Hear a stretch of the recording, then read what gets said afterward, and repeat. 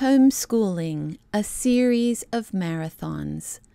Over the years, the Lord has taught me many things about how to run with perseverance the race marked out for us. Hebrews 12:1. A lot of these lessons were come by the hard way, by living them out and learning as I went, often as a result of making mistakes. Others were gleaned from mentors in the body of Christ, whether friends, authors, or teachers.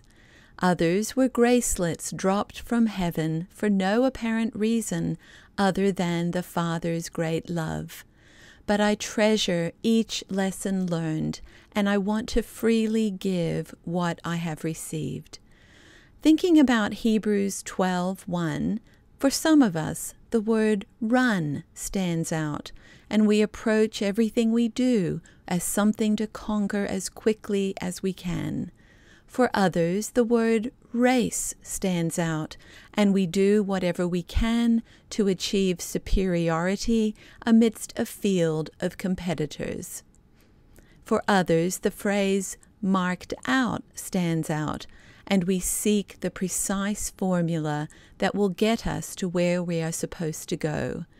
As long as they're not taken to extremes, each of these facets of living the Christian life is necessary and important.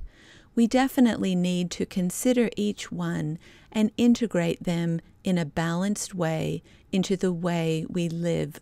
But I think a word many of us skip over is perseverance defined as steady persistence in a course of action, a purpose, a state, etc., especially in spite of difficulties, obstacles, or discouragement.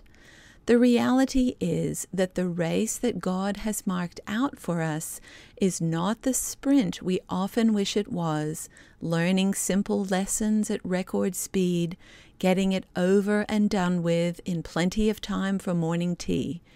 Our race more closely resembles a marathon, or these days an ultra marathon, something that the vast majority of us, including me, wouldn't even consider being within our reach, let alone something we would cheerfully set out to do in our right minds, with apologies to my marathon running friends who are definitely in their right minds and do, cheerful as they do this astounding feat on a regular basis.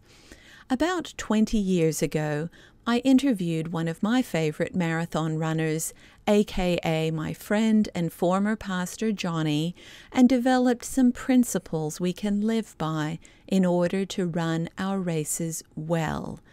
Over the coming months, I want to share what I've learned with you, and hopefully, we will spur one another on in the process.